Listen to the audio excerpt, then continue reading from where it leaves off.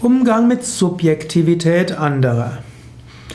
Vielleicht magst du denken, dass jemand anders Dinge zu subjektiv sieht, dass er nicht objektiv genug ist, dass er zu wenig einen übergeordneten Standpunkt einnimmt. Das magst du so sehen und vielleicht hast du auch recht. Menschen sind meistens sehr subjektiv und selbst derjenige, der glaubt, objektiv zu sein, ist es selten. Heute würde man auch sagen, vollständige Objektivität ist kaum möglich.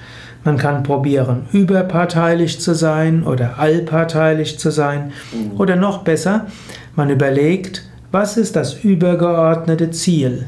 Es gibt nicht wirklich das objektiv Richtige in den meisten Situationen.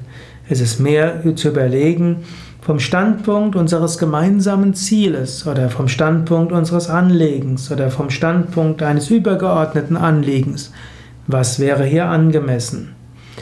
Und manchmal ist sogar die subjektive Sichtweise besonders gut. Manchmal muss man nämlich auch überlegen, vom Standpunkt des einzelnen Menschen, von dieser subjektiven Einstellung, was wäre dort richtig?